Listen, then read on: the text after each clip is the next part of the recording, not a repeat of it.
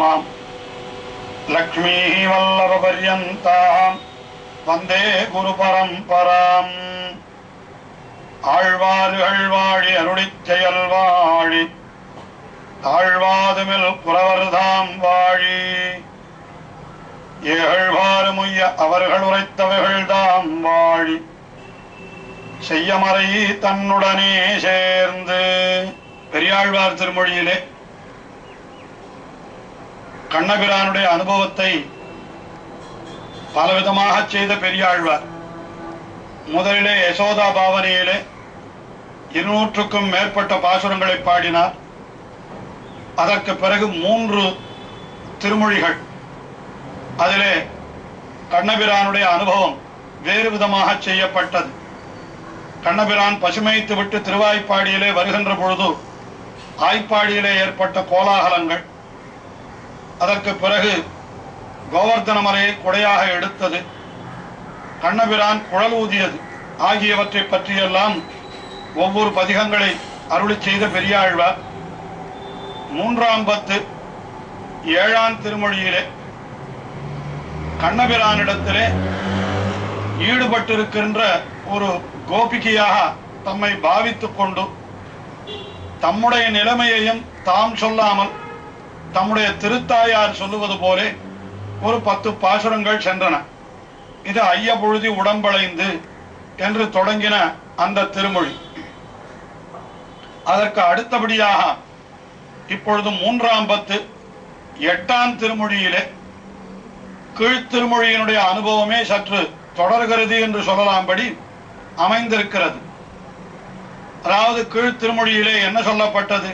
என்னால் கண்ணபிரானிடத்திலே மிகவும் ஈடுபாடு உடையவளான ஒரு நாயக்கி விஷ்ணு சித்த நாயக்கி என்றே நாம் அவளை கொள்வோம். அப்படிப்பட்டவள் அந்த எம்பெருமானிடத்திலே மிகவும் ஈடுபட்டு கிடக்கிறாள். நான் சொல்லுகிற வார்த்தையை கூட அவள் கேட்க மாட்டேன் என்கிறாள் என்றெல்லாம் தாயார் சொன்னாள் இப்படியெல்லாம் சொன்ன உடனே சுற்றத்தார் பக்கத்திலே இருந்தவர்கள் அவர்களெல்லாம் என்ன சொன்னார்களாம்? செய்த்தரேழு நாற்று போல் அவன் செய்வன செய்து கொள்ள என்று மைத்தட முகில்வண்ணன் பக்கல் வளர விடுமீன்கள். அந்த கணவிரானிடத்திலேயே இவளை கொண்டு போய் சேர்த்து விடுங்கள் என்று தாயாருக்கு மற்றவர்கள் உபதேசம் பண்ணினார்கள். ஆனாலும் தாயாருக்கு தன்னுடைய மகளை பிரிவதற்கு இஷ்டமில்லை. அந்த மகளை கொண்டு போய் கண்ணபிரானிடத்திலே அவள் கொண்டு சேர்க்கவில்லை.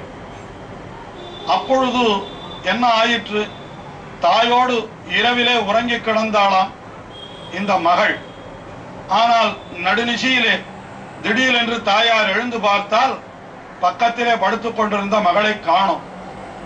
அவளை கண்ணபிரான் இரவிலே வந்து அழைத்து கொண்டு சென்று விட்டான் போலும். என்று நினைத்து ஐயோ என்னுடைய மகளை இப்படி களவொழுக்கத்திலே வந்து அவன் அழைத்து சென்று விட்டானே அவளை அழைத்து சென்றவன் ஒழுங்காக அவளுக்கு அங்கே கல்யாணம் எல்லாம் பண்ணி வைப்பானா? அல்லது அப்படியே விட்டு விடுவானா என்ன ஆகும் என்று என்னுடைய மகளுக்கு என்ன ஆகும் என்று தெரியவில்லையே? அந்த மகள் இல்லாமல் என்னுடைய இல்லமே இப்படி வெறியோடி கிடக்கின்றதே என்றெல்லாம் சொல்லுவதாக இந்த நல்லதோர் தாமரை பொய்கை என்று தொடங்குகின்ற எட்ட மூன்றாம் பத்திலே எட்டாம் திருமொழி அமைந்திருக்கிறது. அதிலே முதல் பாசுரத்திலே தன்னுடைய மகளை காணாத அந்த திருத்தாயார் சொல்லுகிற வார்த்தை. பக்கத்திலே இருந்த மகளை காணோம். மகள் கண்ணனோடு சென்று விட்டாள் அல்லவா? ஆயினாலே இல்லமெல்லாம் வெறிச்சோடி கிடக்கிறது என்று அதை தெரிவிக்கின்றாள் முதல் பாசுரத்திலே.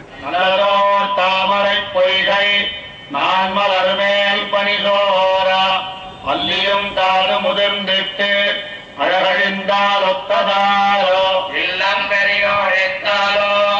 என் மகளை எங்கும் காணேன். மல்லரையட்டவன் பின் போய் மதுரை புறம்பொக்காள்களும் கண்ணபிரானோடு இந்த நாயகி சென்று விட்டபடியினாலே அந்த நாயகியினுடைய இல்லம் எப்படி கிடக்கிறது என்றால் பனிப்பொழிவாலே ஒரு தாமரை குளம் எப்படி ஆகியிருக்குமோ அதாவது தாமரை மேலே பனி விழுந்தால் அந்த தாமரையானது தாங்காது. அது சூரிய ஒளிக்குத்தான் மலரும். பனி விழுந்தால் அந்த தாமரையானது பட்டு போய்விடும். அத்தாமரையை உடைய குளம் என்ன ஆகும்? சோபை இழந்து காணப்படும். அதுபோல என்னுடைய இல்லம் ஆகிவிட்டது என்று திருத்தாயார் சொல்லுகிறார். என்ன சொல்லுகிறார்? நல்லதோரு தாமரை பொய்கை என்று மிகவும் நல்லதாயிருக்கக்கூடிய ஒரு தாமரை பொய்கை. அந்த தாமரை பொய்கையிலே இருக்கக்கூடிய நாள் மலர். அப்பொழுதே மலர்ந்த தாமரை மலர். அதன் மேலே பனி சோரா. பனி விழுந்ததானால் என்ன ஆகும் என்றால் அந்த தாமரையானது அல்லியும் தாதும் உதிர்ந்துட்டு அல்லி என்னால் அந்த புற இதழ்கள் தாதி என்னால் இதுல இருக்கக்கூடிய மகரந்த பொடிகள் இதையெல்லாம் அது இழந்து விடுமா? அந்த இதழ்கள் எல்லாம் உதிர்ந்து விடும் மகரந்த பொடிகள் எல்லாம் சிந்தி விடும் தாமரையிலிருந்து. இப்படி அல்லியும் தாதும் உதிர்ந்துட்டு அழகு அழிந்ததால் என்று அழகழிந்து கிடக்குமே அந்த தாமரை பூ. அதுபோல நம்முடைய இல்லமும் ஆகிவிட்டது. ஆஹா தாமரை பொய்கை என்பது அந்த இல்லத்திற்கு உதாரணமாக சொல்லப்படுகிறது. அந்த இல்லத்திலே இருக்கக்கூடிய இவளுடைய மகள் என்பவள் அந்த தாமரை பூவுக்கு உதாரணமாக அந்த தாமரை இவளுக்கு உதாரணமாக தாமரை பூ சொல்லப்படுகிறது. இங்கே கண்ணன் வந்து அவளை அழைத்து கொண்டு சென்றது அந்த பனிப்பொழிவு போலே என்று சொல்லலாம். ஆயினாலே இப்படி அந்த தாமரையானது எப்படி அழகழிந்து கிடக்குமோ அதுபோல ஒன்றோ இப்பொழுது என்ன ஆகிவிட்டது? இல்லம் வெறியோடித்தாலோ இந்த இல்லமே வெறிச்சோடி கிடக்கிறது.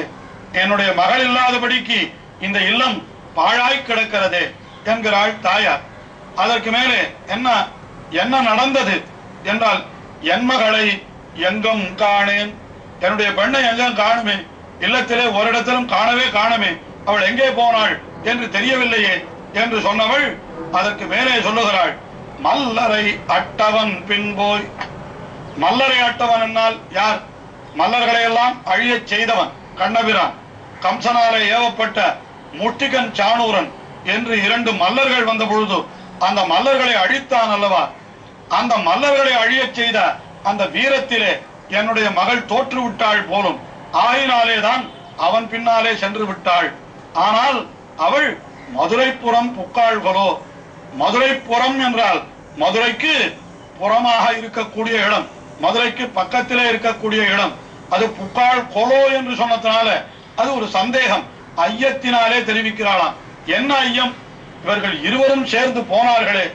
ஒருவர் அழகிலே ஒருவர் மயங்கி இவர்கள் நேரே போய் சேர வேண்டிய திருவாய்ப்பாடிக்குத்தான் போய் சேர்ந்திருப்பார்களோ அல்லது தனக்கு தீங்கு விளைக்கக்கூடிய இடம் என்று கூட தெரிந்து கொள்ளாமல் கண்ணன் இவளை மதுரா நகரத்திற்கே அழைத்து கொண்டு சென்று விட்டிருப்பானோ? மதுரா நகரம் என்றால் அது இன்றைக்கும் கூட தாயாருக்கு பயத்தைத்தான் விளைக்கிறதாம். ஏனென்றால் கண்ணனுக்கு தீங்கு விளைக்கின்ற கம்சன் இருந்த இடம் அல்லவா ஆயினாலே இவள் மதுரைக்கு சென்றாளா அல்லது ஆய்ப்பாடிக்கு சென்றாளா? தெரியவில்லையே.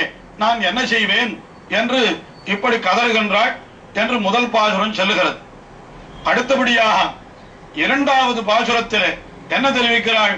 இந்த ஆயர்கள் எல்லாம் கன்றுகளை களவு செய்து கொண்டு போவது போல கண்ணனும் இப்படி என்னுடைய மகளை கவர் கவர்ந்து கொண்டு போய்விட்டானே என்று இரண்டாவது பாசுரத்திலே தெரிவிக்கிறாள்.